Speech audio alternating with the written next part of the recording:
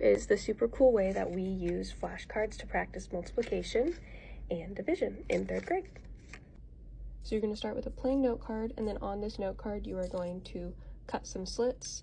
One, two, three, four, five, six. You should have six little flaps on each side.